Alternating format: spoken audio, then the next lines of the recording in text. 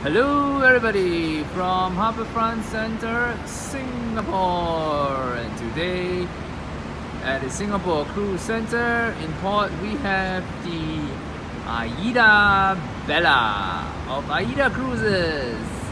Aida Bella, let's take a closer look. Aida Bella currently taking on fuel from a bunker. And there's the Bella, the name right there, Aida Bella of Aida Cruises. Where are we? In Singapore at the Harbourfront Cruise Center. On top you can see the cable cars moving. This is uh, Singapore and over here as I drove up the car park I saw cruise passengers coming back from their shore excursions and that's where they I think that's where the tour coaches wait for the shore excursions. Pretty near the ship. Uh, Aida Bella.